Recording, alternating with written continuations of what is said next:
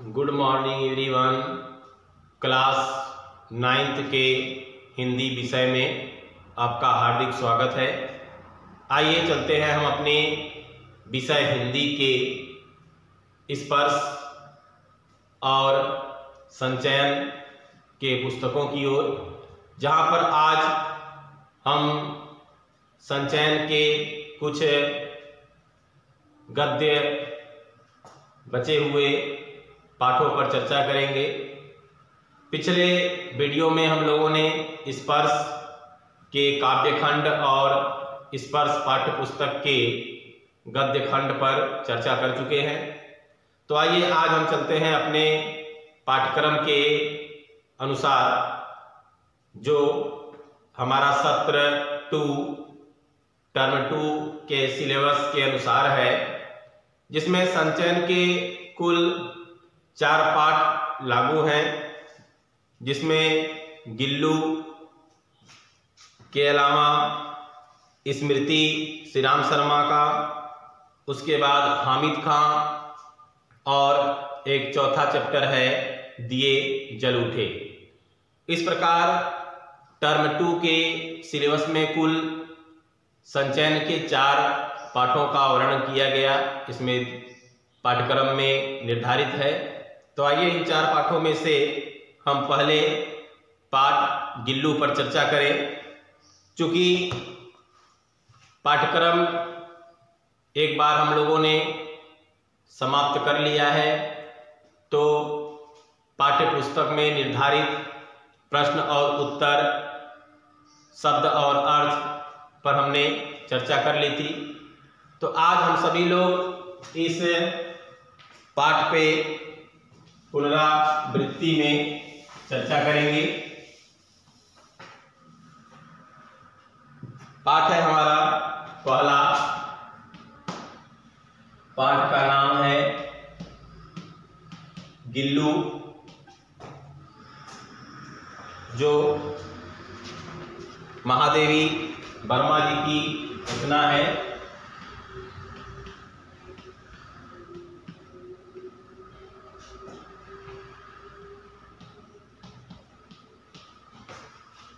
महादेवी वर्मा की रचना गिल्लू पे कुछ अतिरिक्त हम प्रश्न उत्तरों पे चर्चा करने जा रहे हैं। तो आइए स्वागत है आप लोगों का। चलते हैं हम सबसे पहले कुछ लॉन्ग क्वेश्चन पे, जिसे हम निबंधात्मक प्रश्न के नाम से जानते हैं। आइए चर्चा करते हैं पहले अपने प्रश्न में।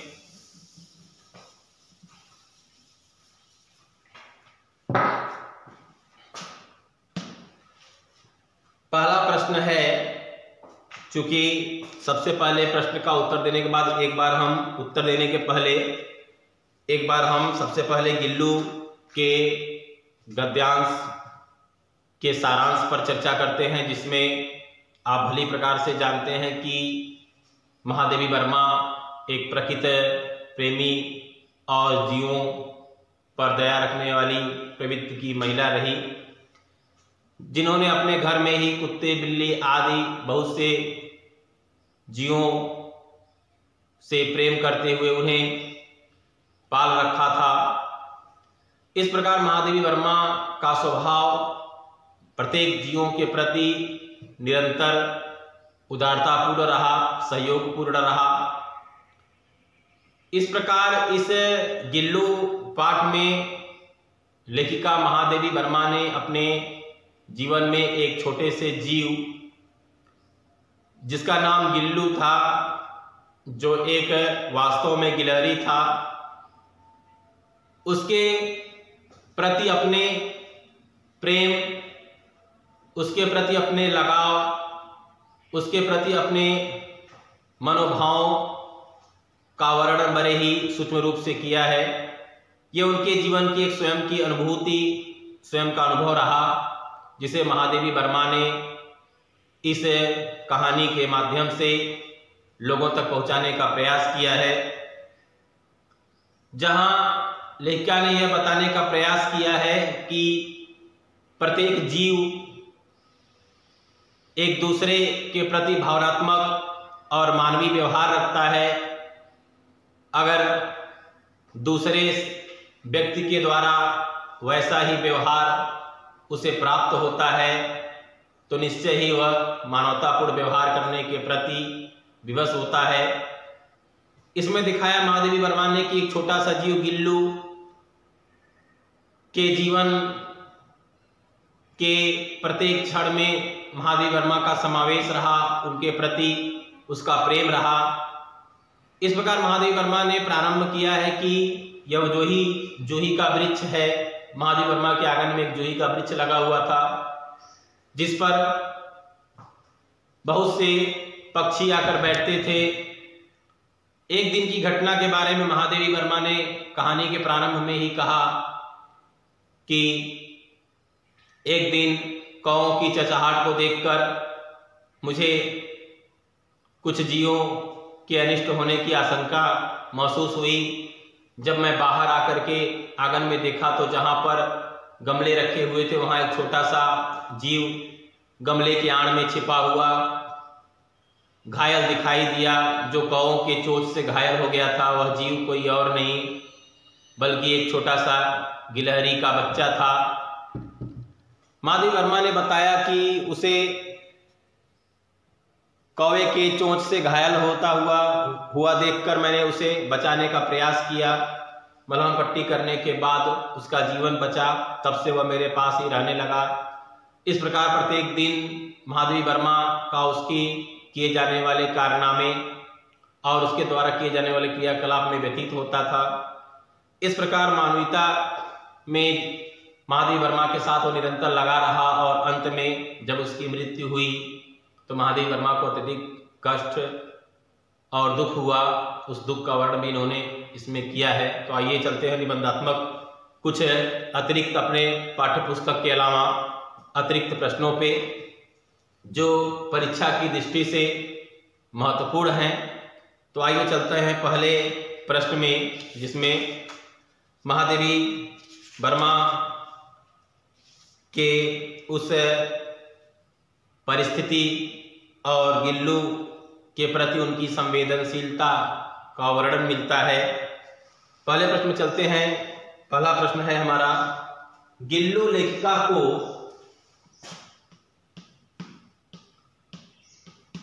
गिल्लू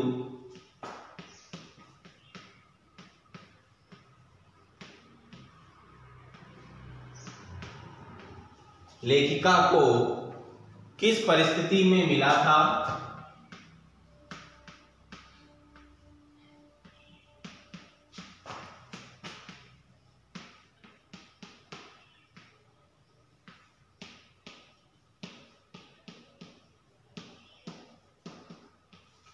किस परिस्थिति में मिला था?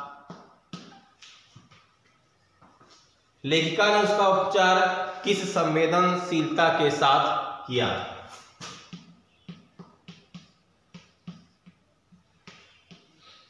लेखिका ने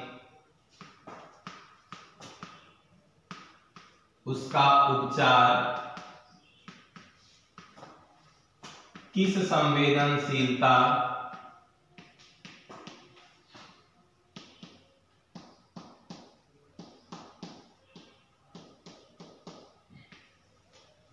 किस संवेदनशीलता से किया? हम एक बार पाठ का अध्ययन कर चुके हैं, आपको याद आ रहा होगा। जब गिल्लू कौवे के चोट से अत्यधिक घायल हो चुका था, पहले आप क्वेश्चन को राइट करिए। प्रश्न है, गिल्लू लेखिका को किस परिस्थिति में वह कौन सी परिस्थिति थी? किस परिस्थिति में मिला? था। और लेखिका ने उसका उपचार किस संवेदनशीलता से किया? लेखिका ने उसका उपचार किस संवेदनशीलता के साथ या माने कौन से? मानवीय व्यवहार को ध्यान में रखकर लेखिका ने उसका उपचार किया, कैसे किया? तो आइए चर्चा करते हैं। कहानी में जैसा कि आप जानते हैं, लेखिका के प्रति गिल्लू का स्वभाव संवेदनशील रहा। लेखिका को जब यह मालूम पड़ा कि कौवे के चोट से गिल्लू, जो गिलहरी का छोटा सा बच्चा था, अत्यधिक घायल हो चुका है तो उसे बचाने का लेखिका के द्वारा प्रयास किया गया, जहाँ लेखिका ने उसे अपने घर में लाकर उसके घाव को भरने के लिए मलहम पट्टी आदि किया। क्योंकि गिल्लू अभी बहुत छोटा था, वह स्वयं से कुछ खा पी नहीं सकता था, जिस कारण लेखिका ने उसे कुछ दूध और जल की बूंदें रुई के माध्यम से उसके मुँह में डालने का प्रयास किया। काफ़ी परिश्रम करने के बाद लेखिका के द्वारा कुछ जल की और दूध की बूंदें गिल्लू के मुँह में जा सकी। इस प्रकार धीरे धीरे उसका शरीर स्वस्थ हुआ और वह चलने फिरने योग्य हुआ। उसके बाद निरंतर गिल्लू का स्वभाव लेखिका के प्रति संवेदनशील रहा। लेखिका अत्यधिक उससे प्रेम करने लगी। चूँकि जीव से अपना एक आकर्षण होता है। लेखिका ने उसके स्वभाव और उसके कार्यों से अपने आप को लगा हुआ, लगाव के रूप में समझा। तो आइए देखते हैं कहानी क्या हुई थी, उस पर हम चर्चा करते हैं।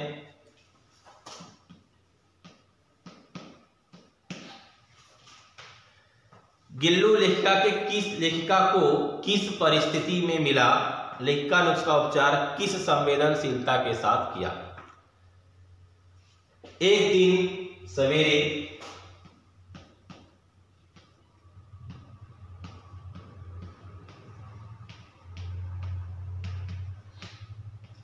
एक दिन सवेरे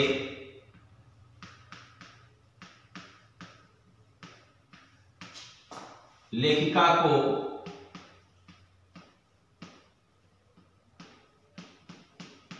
टहलते समय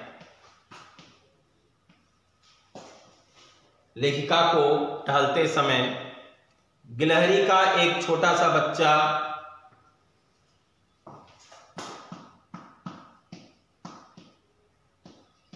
गिलहरी का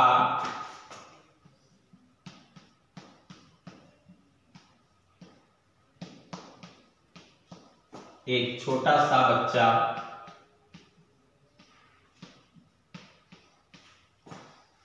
निस्तेज की अवस्था में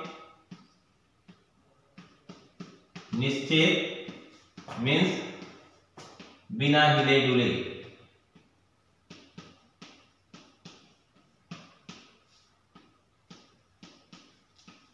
डुले की अवस्था में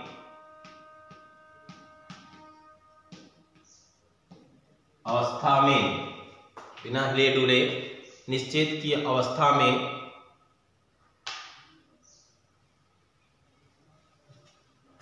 इतना हो गया आगे, देखते हैं आंसर इतना राइट कर लीजिए। जल्दी करिए। निश्चेत की अवस्था में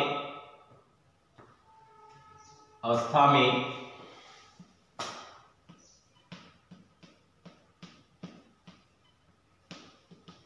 आँगन में रखे।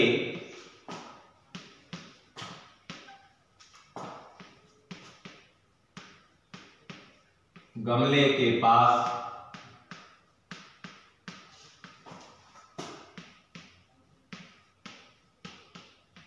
गमले के पास मिला।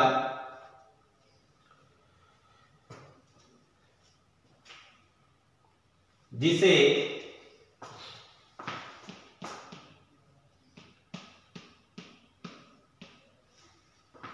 किसी कौवे ने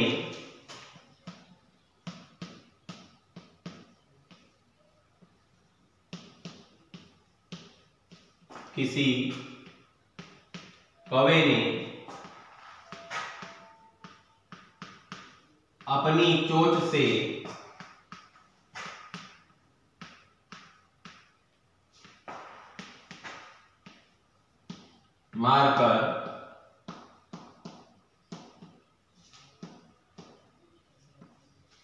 अत्यधिक घायल कर दिया था।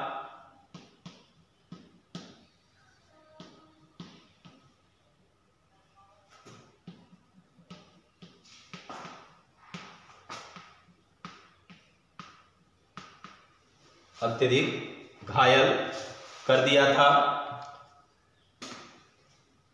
आगे चलते हैं। ये इरेज कर दें। नीचे की लाइन सबकी हो गई। ठीक है चलिए आगे चलते हैं।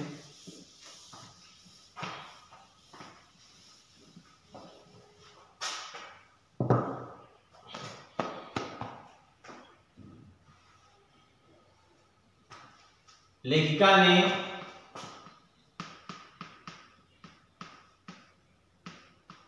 लेखिका ने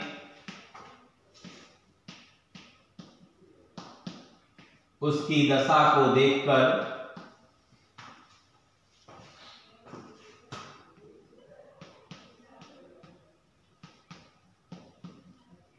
देखकर उसके जीवन की रक्षा हेतु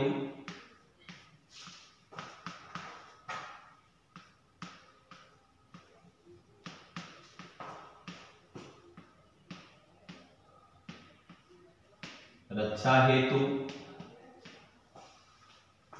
उसे उठाकर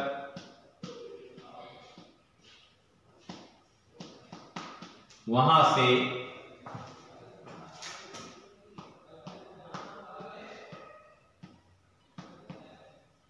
उसे वहाँ से उठाकर अपने घर के अंदर ले आई।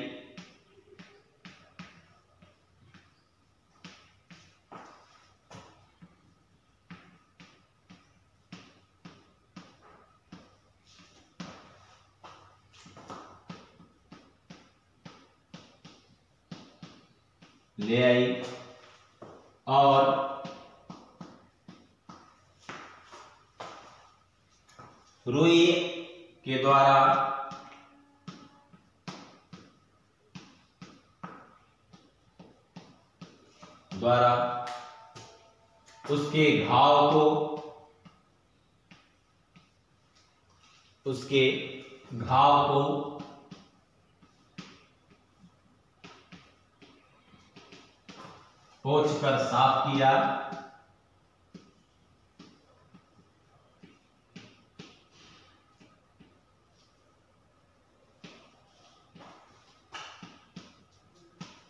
पोछ कर साफ़ किया। कितना राइट करिए?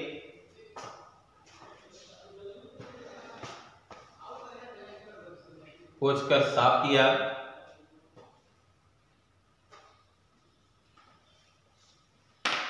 गया। सब राइट करिए, जल्दी।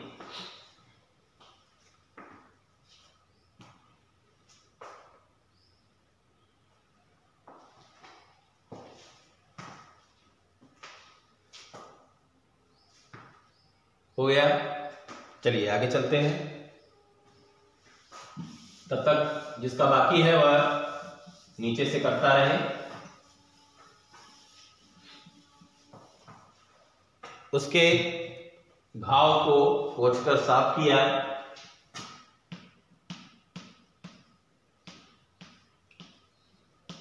उसके घाव पर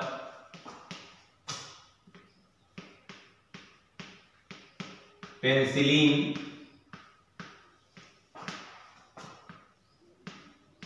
दवा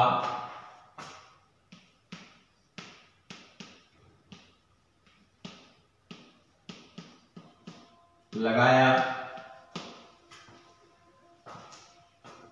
और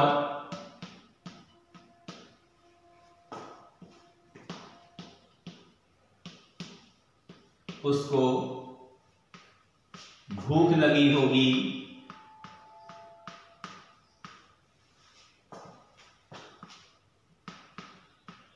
लगी होगी।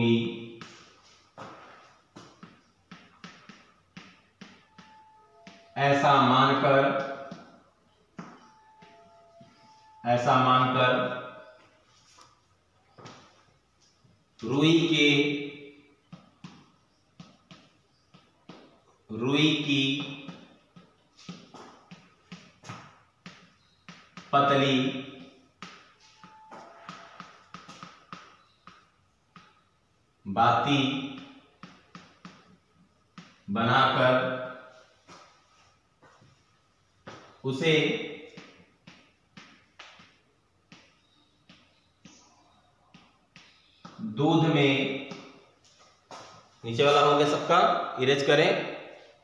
चलिए।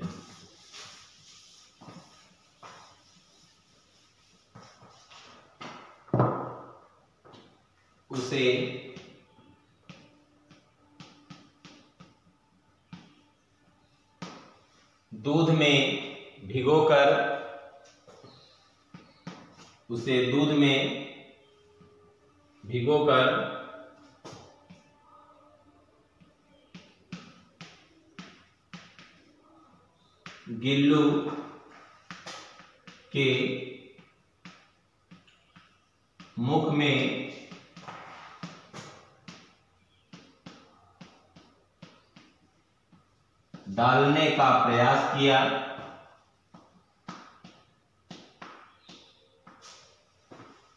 डालने का प्रयास किया। किंतु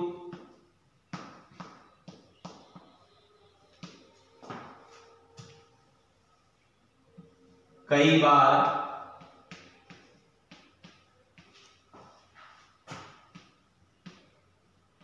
यह प्रयास असफल रहा।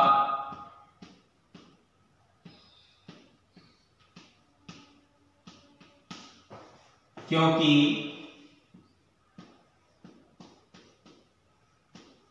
क्योंकि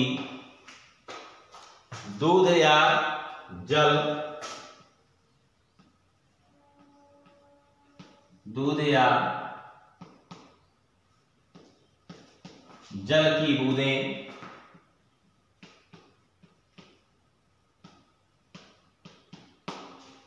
गिल्लू के छोटे मुख से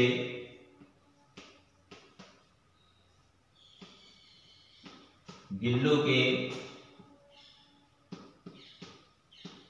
छोटे मुख में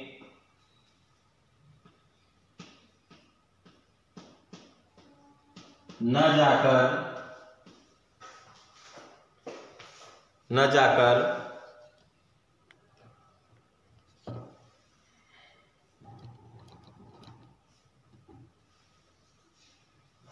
इतना हो गया। इरेज करें।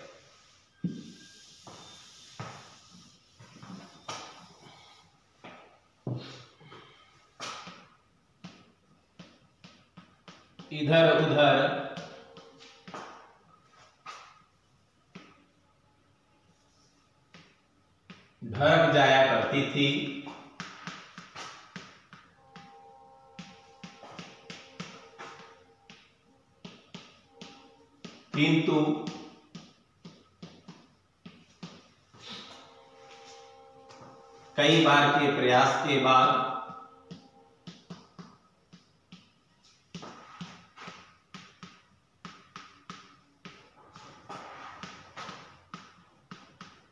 प्रयास के बाद यह कार्य संभव हुआ।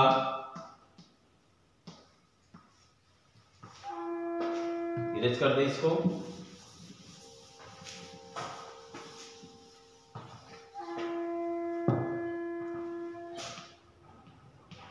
संभव हुआ। और दूध गिल्लू के मुख में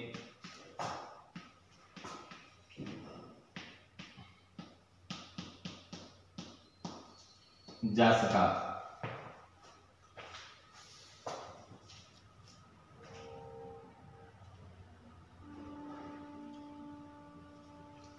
इस प्रकार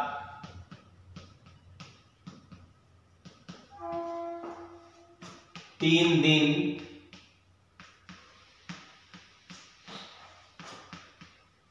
तक लेखिका ने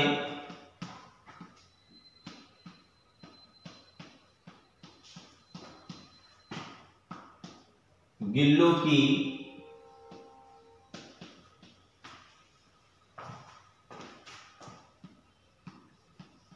दवा आदि द्वारा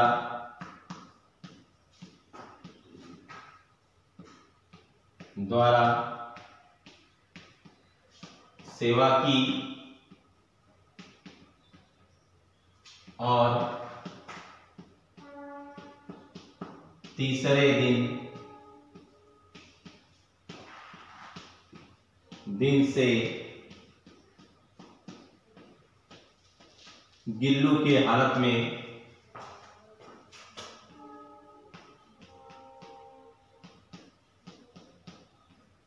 हालत में काफ़ी सुधार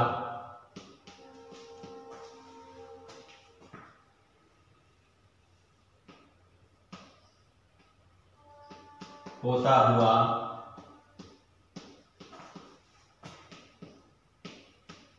दिखने लगा।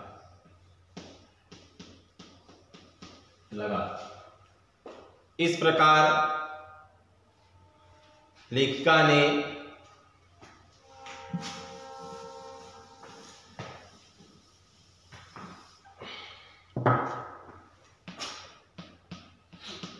इस प्रकार अपने सगे या रिश्तेदार के समान समान।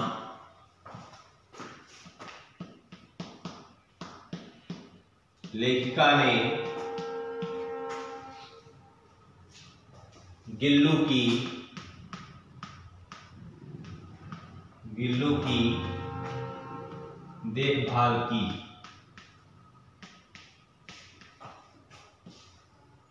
गिल्लू की देखभाल की।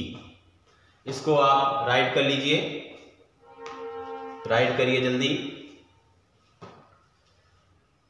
निबंधात्मक प्रश्न में हम पहले प्रश्न पर चर्चा कर चुके हैं। कल हम अगले वीडियो में बचे हुए कुछ अतिरिक्त नए अन्य पूछे जाने वाले पुराने बोर्ड के प्रश्नों पर चर्चा करेंगे। तो आइए चलते हैं आज के लिए इतना ही। कल हम अगले निबंधात्मक प्रश्न पर इसी पाठ पर चर्चा करेंगे। तब तक के लिए धन्यवाद। आपका दिन शुभ हो।